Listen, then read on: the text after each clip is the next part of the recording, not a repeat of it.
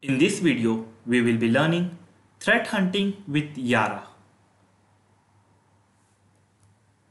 What is Yara? Yara is a tool aimed to help malware researcher to identify and classify malware sample. With Yara, you can create a description of malware family based on the textual and binary pattern. Yara is mostly used in static malware analysis. Installation of Yara. Let's quickly go to my browser and see how we can install this. This is official page of Yara. It is virustotal.github.io slash Yara. In this download latest release, you will find multiple version of Yara. So just by clicking on the zip and extracting it, you can install this Yara. If you're running Linux, just install this Python module and you can ready to go with Yara. Type of indicators. Well, in Yara, it have three indicators, network-based indicator, host-based indicator, and other indicators. Let's go one by one. In network-based indicator, it will be consist of IP address and URL.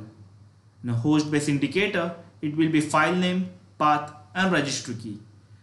In other indicators, it will be PDB file, mutex file, encoded and encrypted string. Let's start with writing a simple Yara rule.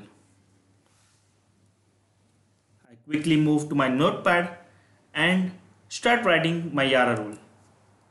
So this Yara rule I copied from official Yara page Trojan.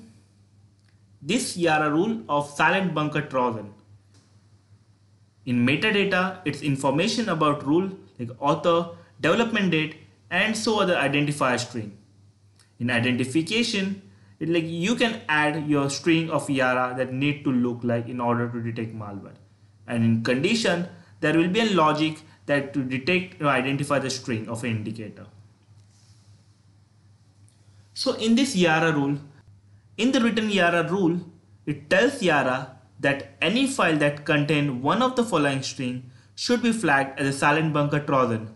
Note that the first two string are in hex pattern and third string is in textual pattern. The silent banker Trojan is a Trojan virus that steals banking credential of your computer. Yara keywords. So as like other programming language, even Yara has its own written keywords that has to be followed while writing Yara rule.